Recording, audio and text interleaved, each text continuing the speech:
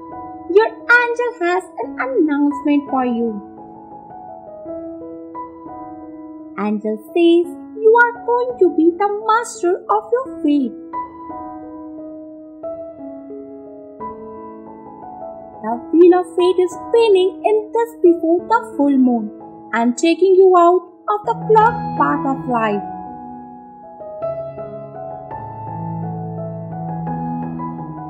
The angelic energy wants you to know that you are protected by a higher power.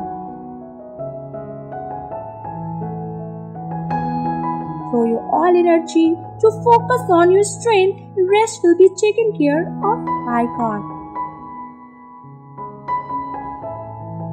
Your angel wants you to understand the worry only will take your peace away. In any situation, you stick to faith, any situation will pass by you without touching you.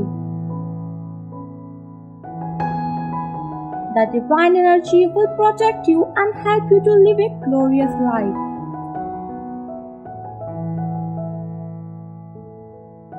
Ring the bell of God's door through prayer. Your pain will be less, your worry will disappear, and you will live abundantly.